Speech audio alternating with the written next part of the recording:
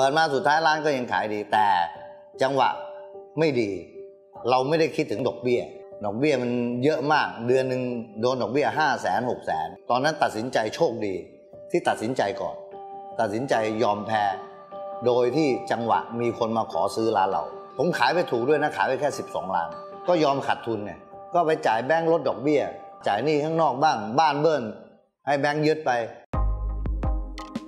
ผมสลันกรอัครวุฒิเมธากร ชื่อเล่นชื่ออาหงนะครับ ตอนนี้อายุ 59 แล้วครับ เริ่มทำธุรกิจเป็นเท่าแก่อายุ 21 ผมเป็นคนไม่เรียน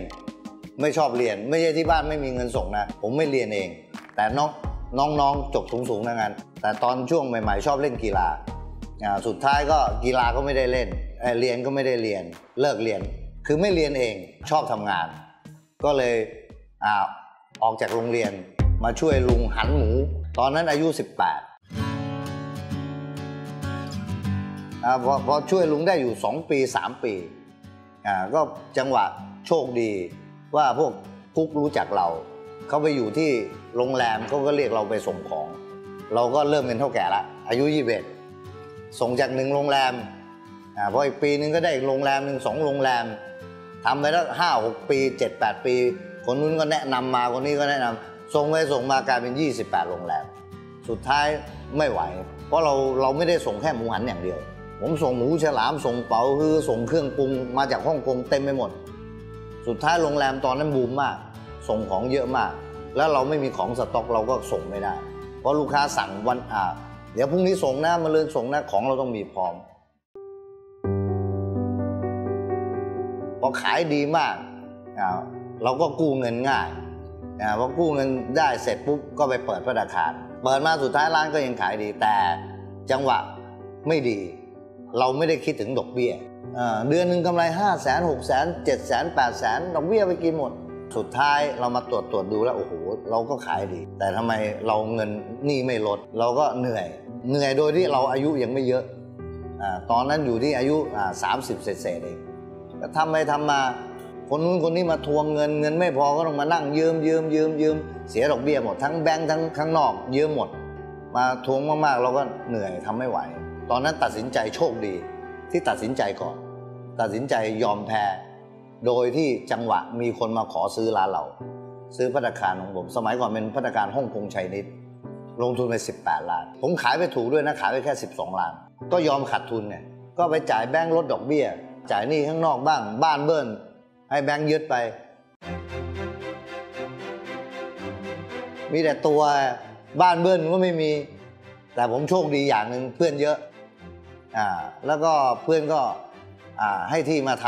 ำมาทำโรงงานบ้านเราก็ไปเช่าอยู่ไม่มีอะไร ส่งของเลี้ยงประทังชีวิตไป ก็คือหมูหันเราก็ยังทำได้แต่จังหวะผ่านไป5ปี6ปีน่ะหมูหันหนึ่งแพงสองขาดตลาดใช่ไหมอ่าสาม ลูกค้าแต่ละที่เขาไม่ใช้หมูเพราะมันต้นทุนสูงมาก สุดท้ายไม่มีอะไรทำก็นอนคิดนั่งคิดผ่านไปอ่า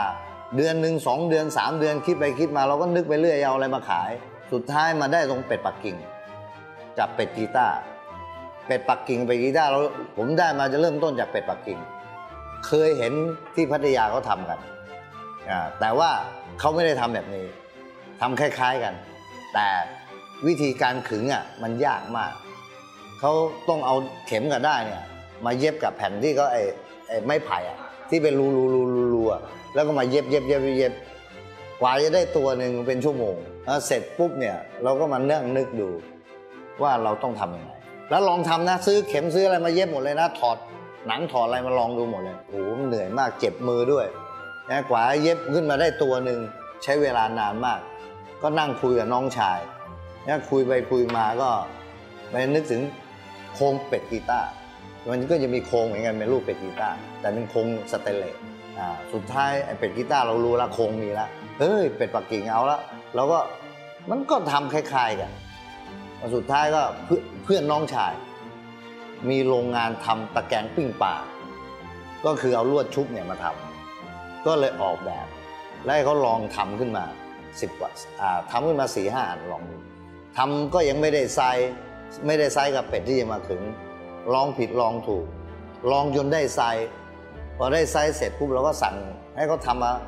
ทำเป็ดกีตาร์มาด้วยโครงอะเพราะเป็ดกีตาร์โครงมีตัวอย่างอยู่แล้ว มันก็ง่ายอ่าทดลองทำทดลองกินน้ำจิ้มก็ทดลองเราก็ขอพรรคพวกเฮ้ยคนฮ่องกงอะเขาจะมีสูตรอ่าก็มาลองทำดูทำไปทำมาเอ้ยอร่อยอ่าสุดท้ายเราทำขึ้นมาเสร็จปุ๊บเราก็เริ่มละ หาลูกค้า ไม่ใช่ทำเสร็จแล้วหาลูกค้าได้นะเราก็เป็นคนทำคนแรกในประเทศไทย ที่ผลิตเป็ดปักกิ่งและเป็ดกีตาร์ไปเสนอก่อนเลยอาพวกโรงแรมพวกโต๊ะจีนก็คือรู้จักกันทั้งนั้นก็ไปเสนอแต่ละที่ ไปหมดใส่รถเลยสิบตัวยี่สิบตัวขับไปนครปฐมเลย โต๊ะจีนเยอะๆ ไปเสนอเลย ไม่รู้จักก็เข้า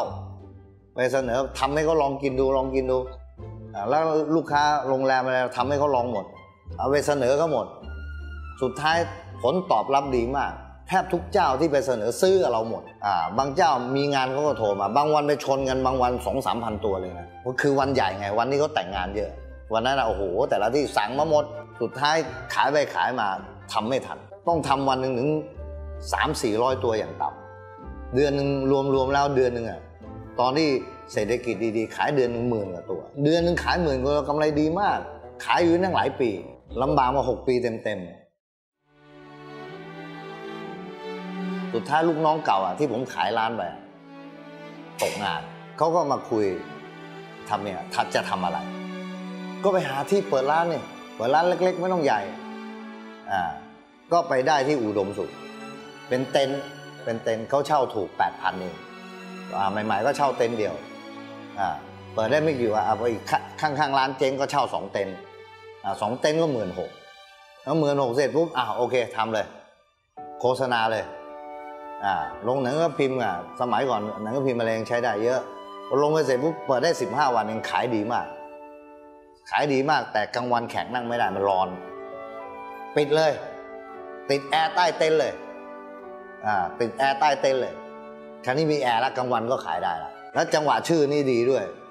อาจารย์ก็ตั้งให้ร่ำรวยโภชนาตอนแรกเราก็ไม่กล้าใช้เอ้ยแม่งยังไม่รวยเลยใช่ไหมยังไม่รวยเลยให้ตั้งชื่อร่ำรวยโภชนาอาอาจารย์บอกใช้ไปเลยยังไงก็รวย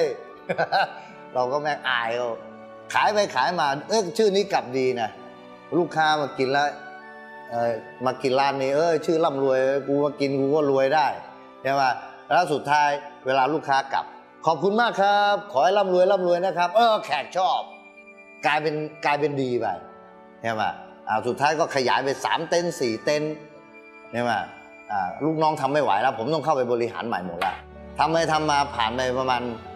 7-8ปีโอ้ขยายเป็นสี่เต็นแล้วลูกค้ามันก็เยอะมากใช่ไหมสุดท้ายทำยังไง สร้างด้านหลังเลย ที่เขาเยอะสร้างสวยๆเลยอ่าแต่สร้างสวยๆนี่มันโชคดีอย่าง คือหนึ่งอุปกรณ์เราไม่ต้องซื้อเลยโต๊ะเก้าอี้ถ้วยชามอะไรทุกอย่างไม่ต้องซื้อครัวคือไม่ต้องซื้อตู้เย็นไม่ต้องซื้ออสร้างสร้างโครงสร้างอย่างเดียวอ่าก็ลงทุนไปอีกหลายล้านบาทนะ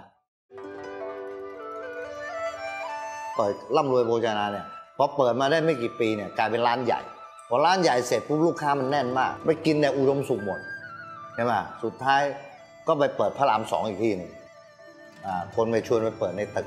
พระรามสองติดกับโรงพยาบาลนครทนช่วงนั้นเปิดพระรามสองเสร็จปุ๊บก็เปิดพระรามสามเปิดพระรามสามเนี่ยคือเพื่อนทำเราหุ้นกับเขาเราบริหารให้เขา สุดท้ายมีปัญหาพระรามสองทำได้สองปี มีปัญหาเรื่องตึก ก็เลิก แต่เราไม่ขาดทุนเพราะเราได้ทุนไปหมดแล้วกำไรไปแล้วขายดีมาก เปิดพระรามสองอ่าเสร็จปุ๊บมีจังหวะที่พระรามสามเนี่ย เพื่อนเปิดอยู่สุดท้ายเขาไม่ทำละพอไม่ทำละเราก็เซ้งขึ้นมาหมดเลยพอเซ้งขึ้นมาหมดเสร็จปุ๊บเนี่ย เราเอากุ๊กทั้งนู้นเข้ามาอยู่พระรามสามหมดเลย ยกทีมมาหมดเลย จังหวะเปิดกับปิดลูกน้องไม่ตกงานพอย้ายมาอยู่นี่หมดพอย้ายมาอยู่กลับมาอยู่นี่หมด เริ่มละเริ่มทำโต๊ะจีนนอกสถานที่ แล้วก็รับไปเรื่อยอาศัยลูกค้าที่ร้านอุ้ยโอ้มีรับโต๊ะจีนนอกสถานที่มีบริการเราก็ค่อยๆ เริ่มใช้กับเราเราก็โต๊ะจีนเราก็เปิดราคาไม่ต้องสูงมาก ลูกค้าขายไปขายมาลูกค้าก็เริ่มติดเนี่ย เริ่มติดแล้วเนี่ยมาไปทำไปทำไปทำลูกค้า เอออาหารอร่อยเนี่ยมาเขาก็พูดปากต่อปากแนะนำกันไปแนะนำกันมาสิบกว่าปีราคาอาหารเราไม่ได้ไม่ได้ปรับขึ้นเลย คือพันห้าขายสิบปีก่อนทุกวันนี้ชุดนี้ผมก็ยังขายพันห้าสุดท้ายวันหยุดของเราเนี่ยลูกค้าเยอะมากใหม่ๆเป็ดปิกีต้าร์ผมยังไม่ได้โปรโมทนะเพราะคนไม่รู้จัก ก็มาโปรโมทเป็ดปักกิ่งก่อน เป็ดปักกิ่งโปรโมทจนดังมากแล้วจนคนนู้นคนนี้ตามเราหมดแล้วใช่ไหม สุดท้ายเอาวะไม่มีอะไรจะออกแล้วออกเป็ดกีตาร์เลยมาออกเป็ดกีตาร์สุดท้ายดังระเบิดเลยแล้วเราเป็นคนทำคนแรกในประเทศไทย แล้วเป็ดเราออกมาเนี่ยหนึ่งความสะอาดเราได้เนี่ยมาเป็ดเราซื้อบริษัท มีใบรับประกันหมดเนี่ยมาแล้วเนื้อเนื้อเป็ดของเรานุ่ม ไม่มีเหนียวไม่ต้องห่วงกรอบนอกนุ่มในหนังกรอบ สุดท้ายกลายเป็นทั้งเป็ดปักกิ่งทั้งเป็ดขายดีทั้งสองอย่าง คืออาหารเนี่ยคือเราได้เปรียบอย่างหนึ่งเรารู้เรื่องเครื่องปรุง เครื่องปรุงต้องแบบไหนแบบไหนทำถึงจะอร่อย แล้วของเราโชคดีอย่างพวกน้ำซอสทั้งหมด เราผลิตเอง ผลิตออกมาไม่มีสารกันบูดเพราะเราทำสดหมดทำเองเก็บเองเข้าตู้ฟรีซใช้ได้ กลายเป็นซอสเราอร่อย น้ำซีอิ๊วปลาซอสพริกไทยดำพริกเซี่ยงไฮ้น้ำจิ้มเป็ดปักกิ่งน้ำจิ้มเหม็นทำเองหมด เราก็ได้เปรียบตรงนี้ ลำบากที่สุดในชีวิต ก็คือช่วงนั้นแหละ ปี 40น่ะลำบากมาก ผมยังไปเมืองจีนมา 3 เดือนเลย ตอนนั้นเมืองจีนยังลำบาก ที่ผมไปมานะ 20 กว่าปีก่อนนะ แล้วเราก็ไปดูชีวิตการเป็นอยู่เขาเราไปอยู่ด้วยใช่ไหมอ่าโอ้โหไม่ธรรมดา เหนื่อยมาก สุดท้ายถึงจะรู้ว่าความลำบาก เราเนี่ไม่ไม่ลำบากเขาลำบากกับเราเยอะ เห็นแล้วเราก็ไม่ไหวเหนื่อยเห็นเขาแล้วสุดท้ายเราก็เหนื่อยเว้ย แต่ถามว่าโอ้โหเขาเหนื่อยกับเราเยอะ กลับมาสู้ใหม่ กลับมาทำไปทำมาคิดไปคิดมา นึกไปเรื่อยแหละ นึกไปเรื่อย นึกเกี่ยวกับอาหารหมดอะ มันก็นั้นนึกเป็ดปักกิ่งอะจังหวะดีมาก จุดแข็งของผมอะ ผมอะโชคดีอย่างหนึ่ง ผมอะขยัน ผมไม่เคยขี้เกียจเลย จนทุกวันนี้นะ ผมทำงานนี่นะ คนยังคิดว่ามึงไปมีเมียกี่คนนะบอกว่า ว่าตีหนึ่งตีสองผมซื้อของอยู่อะอ่าผมซื้อของสะพานป่าสะพานป่าเปิดเที่ยงคืนกว่าซื้อของเสร็จใหม่ๆเดินสะพานป่านะจนเดี๋ยวนี้ผมไม่ต้องเดินใช้โทรศัพท์อย่างเดียว แล้วเดี๋ยวนี้เดินทางไปซื้อของอย่างเงี้ยผมไม่ต้องเดินทางแล้ว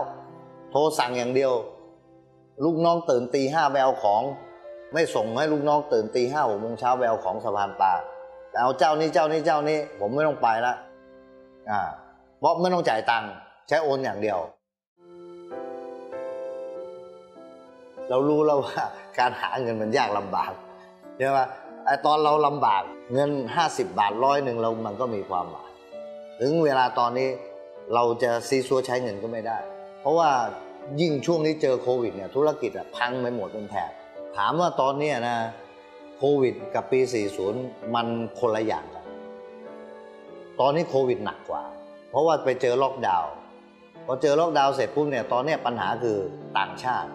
ไม่ได้เข้า หากินในนี้ ถามว่าลำบากไหมลำบากแต่ทุกคนต้องอดทน แล้วจะผ่านไปด้วยดี วางระบบเงินให้ดี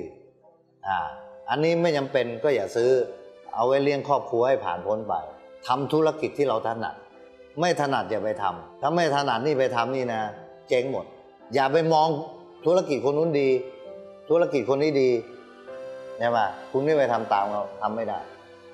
เพราะคุณศึกษายังไม่ถึงอย่างบางคนอยากจะมาทำร้านอาหารโอ้อย่าเลยครับ ไม่ง่ายอย่างที่พวกคุณคิดนะครับไอ้ผมไม่โชคดีอย่างคุกคีอยู่นี่มาเกือบ 40 ปี กว่าจะได้ทุกวันนี้มา ไม่ง่ายนะ ผมก็โดนมาเยอะนะ เจอทุกเศรษฐกิจ เศรษฐกิจดีคุณก็ขายดี เศรษฐกิจไม่ดีคุณก็เรียบร้อยอแต่ช่วงเศรษฐกิจไม่ดีประคองกันยังไง ให้มันผ่านไปได้ เดี๋ยวนี้ยอดขายแต่ละที่ทุกอย่างลดน้อยลงหมดแล้ว คนจะจังหวะดีช่วงเนี้ยมันมีอยู่ไม่กี่ธุรกิจที่ดี ธุรกิจมันมีดีแต่ว่าจังหวะ แต่ละธุรกิจไม่เหมือนกัน แต่คนที่แย่ตรงเนี้ยเยอะมาก แต่คุณไม่ต้องห่วงหรอกขยันไว้อดทนไว้ ใช้เวลาหน่อยประคองตัวให้ดี อย่าซี้ซั้วใช้เงิน คุมเงินให้ดี อันไหนไม่จำเป็นไม่ต้องซื้อ ใช้แต่ของที่จำเป็นทุกวันนี้ แล้วพวกคุณจะรอดหมดเพจก็มีดู Facebook ร่ำรวยโภชนาได้เลย ถ้ามาที่อุดมสุขสาขาแรกเลยนะ original เลยนะ 0 2 3 9 9 2 5 2 0ถึง1ลูกค้าที่จะสั่งเป็ดไปขายพัตตาคารหรือโต๊ะจีน โทรหาเบอร์ตรงผมได้ 0816223391 แต่ส่วนที่จะมาเรียนก็โทรมาปรึกษาได้ เรียนเป็ดเกียร์กีตาร์เป็ดปักกิ่งไปขาย